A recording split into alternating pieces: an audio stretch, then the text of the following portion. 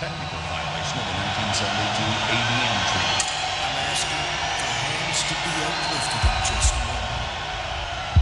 While the Holy Ghost is calling out to embrace you, I want you to reach deep into your hearts and your pocketbooks and take his hand.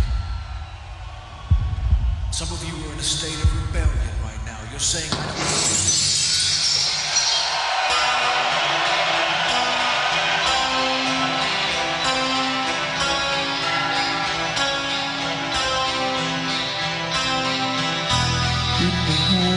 wooden beside my window, I wear a fishbone in the falling rain. I got the shadows from a lonely candle, beside the faces from the wall. I explain.